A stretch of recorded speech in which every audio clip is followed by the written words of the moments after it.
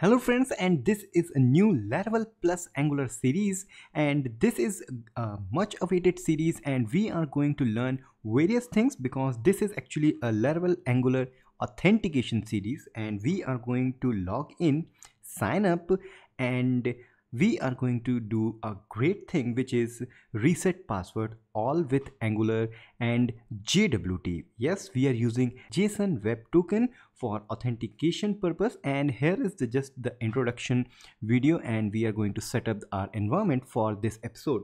So with that i am your host sarthak and this is a channel where i talk about laravel and its related things like angular also. And if you have not subscribed please go and subscribe to this channel because here learning never ends. So what actually we are going to see? Yeah we have simple navbar and if i click on this login yeah it's a single page. That means there is no refresh. And again if i click on this navbar yeah we are on the home page. So what we can see? We can see we have this login page. And submit button is disabled these fields are having red bar here at the left but if I give like username you can see it's now green. And if I now say any password yes you can see this is also green. And now our submit button is enabled. So if I remove anyone like password if I remove or if I remove this one this submit button is not active so yes this is active and we will log in but let's see the sign up part. So yes we will go to sign up and the same procedure red red red red. This means these fields are required. Go back to login again no refresh. And let's see what if i log in. So submit. Without any refresh yes we are on profile page. But what if someone go to login page directly via url okay. Yes it is now fallback to the base url or simply the home. But here is the interesting part. You can see here we have logout button and we have a profile button. So if i click on profile yes we get this one.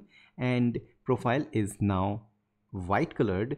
But if i go to home page profile is not white. That means it's not active. So this is good. And if i press logout just after I press without any refresh everything is gone.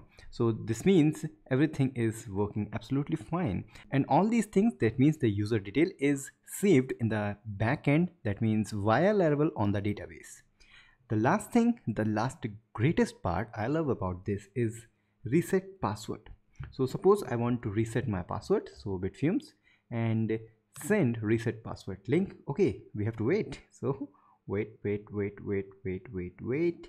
And just after some time yes it says email sent successfully. Please check your inbox.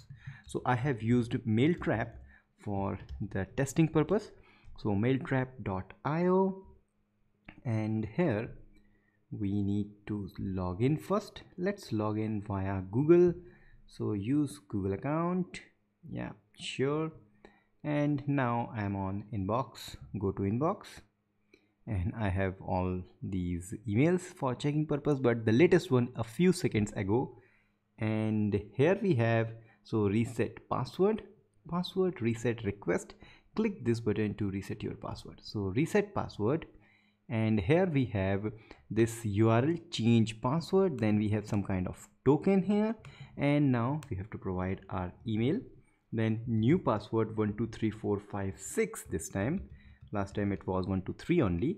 Then change password and okay so we have this message done. Now login with new password. So click on this ok when i click on this ok we fall back to this uh, login button. And now if i log in 123456 and let's try this 123 what happened? So submit okay email and password doesn't match. This means we have some kind of validation also. So if i say one two three four five six submit yes we are here. So let's see where the token is saved. We have saved the token on our local storage which is on application and local storage the website name which is this the token is here. And we have just saved the token and we have verified this token that yes this token is a valid token. So we will do this thing also. So next part is like if i refresh and log out sign up and without any yes you can see i have missed out this. Actually i have intentionally uh, not disabled this because i want to show you something. So if i click on sign in yes you can see these fields are required. We have some kind of error and if i refresh everything is gone and here is the simple thing. So all these things are in this series. There has to be lots of uh, videos and we will start from this episode also. So what we are going to do firstly i will go to github to create a github repository for this series so that you will get the code related to this project so I will create a new repository new repository and repository name is Laravel plus Angular or simply Laravel Angular authentication. Okay. So authentication and this is good. So description and it's like Laravel and Angular with JWT authentication uh, series with reset password uh, password system. Okay so this is good. Obviously it's a public so create a new repository. And now i will go here on this let's create a folder called laravel plus angular. This is the folder name just. And inside this folder I will create a new terminal here. So maximize it. And here I will simply say Laravel new backend. For the backend so it's now having the Laravel project for our Laravel plus Angular authentication series. And while this is installing let's now again go to the same folder. We are on the same folder laravel plus angular. And this time i will say ng new front end. So this is like front end angular. That's good. So hit again enter. So this will download the angular uh, project and this will download the laravel project. So let's wait for them to complete and we will come back. So the angular project is installed and laravel is still installing. So that's not a problem. So i will go to again here and front end let's open this front end folder with our vs code. So let me open this and close the demo part i have. And now let's open again the vs code. And here we have.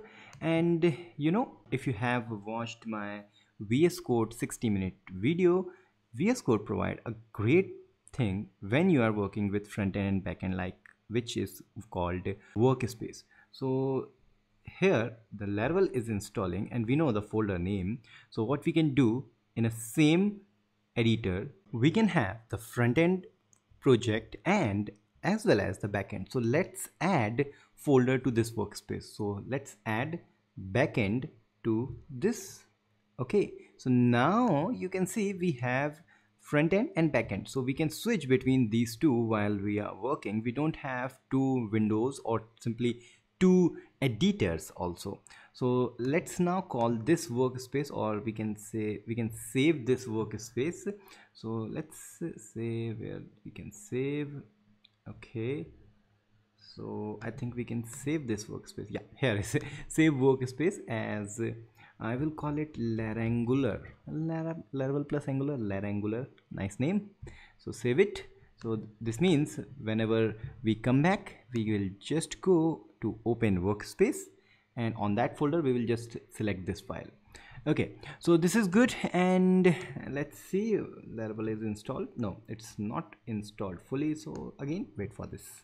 And now both of these that means the angular and laravel is installed. So i will close my terminal now and here we have this backend and what I'm going to do I'm going to create a new repository for this. So once more go here and open terminal for this. I'm going to save both of these project in a single repository. So that will be like simply first git init. Okay git is initialized and if i say git status it says no i don't know anything. So let's say now git and add all and everything is added. So git commit hyphen m that this will be initial commit and like commit. Okay so everything is now committed to our github repository and we just have to push to our github not github repository the local git repository and now we have to push to github. So we have the existing project. So now let's copy this one from here go to terminal and paste it hit enter and we have to push that to the master. So push that to the master everything is looking supremely supremely nice. So let's say yes here and some kind of warning type things. I don't know about that but it says permission denied. So i have paused the video and correct the ssh problem related to my github. And now once more i will use this command. And this time it will upload that to repository. I think i'm sure that will work let's see. Yeah it's working fine absolutely fine. No worry Sarthak, you are doing good. Okay. So this is done and let's now go to our github repository. So lots of keys. Yeah. Okay. So once more here is laravel angular authentication. And yes we have backend and frontend and vs code workspace also. So these are the things and everything is done. And in the next episode we will start to have all of the packages or other uh, libraries we need for this project. And we will start great speed. And if you have liked these videos please please share these video with your developer friends so that everyone get the knowledge of angular laravel and how we can use both of these in a single project. And don't forget to subscribe like bitfumes on facebook twitter and instagram and if you like my work and if you want to support just go to patreon.com and even one dollar a month will be a great help. And otherwise you are liking this video. That's a cool part. So we will meet in the next episode. Till then goodbye